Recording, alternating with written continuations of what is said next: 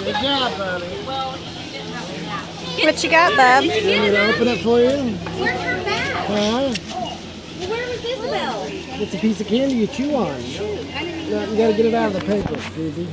I don't even want it. Yeah, look here. Here, Bubba.